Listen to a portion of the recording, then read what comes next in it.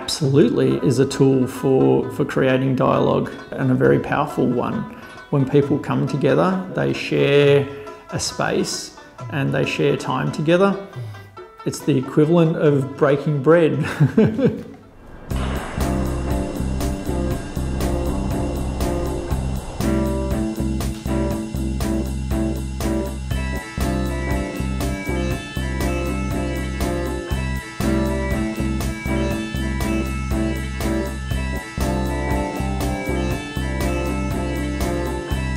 What Skateistan does is to combine skateboarding with education. Our biggest program is called Skate and Create and that involves one hour in the skate park and one hour in the classroom. In the skate park gives them the opportunity to have fun and to learn new skills and to help one another and express themselves and all of those sorts of things that we associate with physical activity. And then in the classroom gives them chance to learn things that they're maybe not covering in their formal education. The whole curriculum is arts based so that it allows children, regardless of their ability, to join in.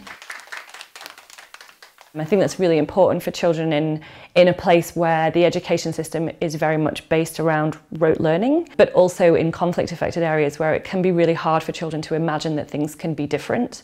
Um, we really try to help them express how that could look um, and that they can be the part of that change. I went to Afghanistan because my girlfriend at the time got a job in Kabul and I was also looking for a research type job myself.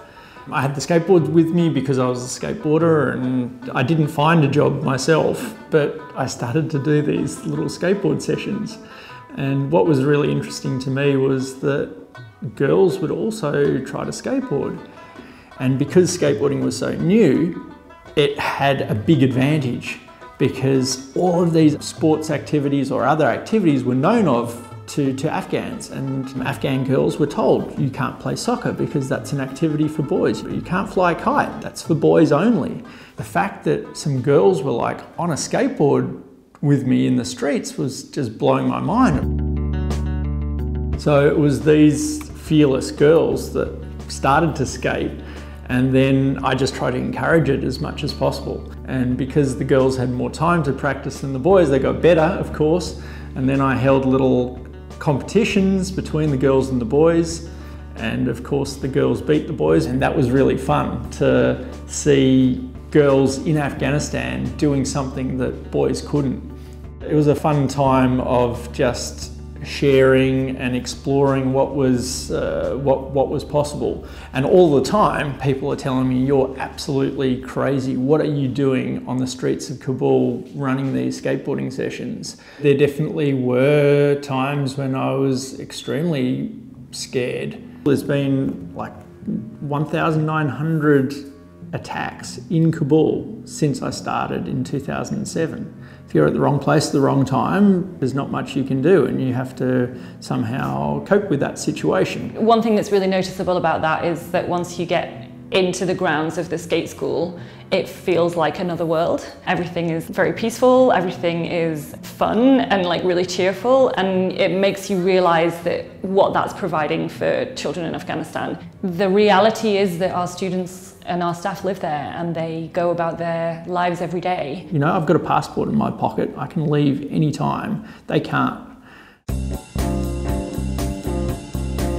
It's a male dominated sport. Um, it comes with a lot of fashion, it comes with certain types of music and maybe some kind of societal associations. In Afghanistan it doesn't because all that they know is this is a, this is a thing that boys and girls do.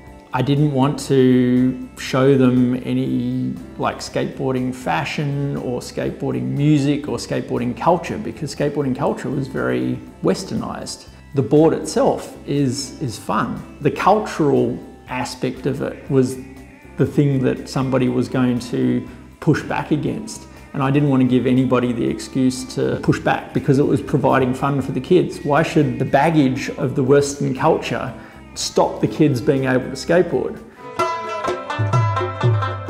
There is always an issue around um, girls' participation. For us, it's always been really, really important that we have 50% girls.